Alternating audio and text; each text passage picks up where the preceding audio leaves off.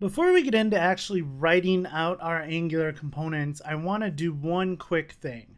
And this is not a step that's required, but you're probably going to want to do something like this in your applications to give it a good look and feel.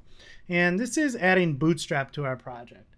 It's really easy to do, and we're going to walk through this quickly, and then the rest of our time building out our components, we can use Bootstrap in all of our HTML and CSS files. So the first thing we need to do is jump into the front end project and we just need to run npm install dash dash save so we save it locally and we're going to say bootstrap. And this is going to go ahead and install this for this project. And it looks like we're good to go.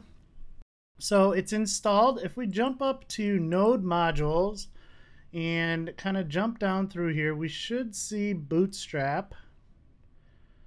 And inside of Bootstrap, you'll see a distribution folder. Inside of there, you'll see a CSS, and then you'll see a Bootstrap CSS and a bootstrap.min.css. So that's really what we're interested for in because there's one more quick step. We've installed it locally, but we haven't really told Angular yet that we want to use it. So if we jump into our angular-cli.json, we have this styles array here, and I just want to reference that. So we're going to go node modules bootstrap, and that was in the dist CSS folder bootstrap.min.css.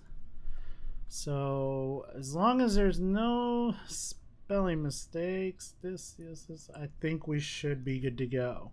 So that's all there is to get Bootstrap installed. And with that, we can start building out our components and we will do that in the next lesson.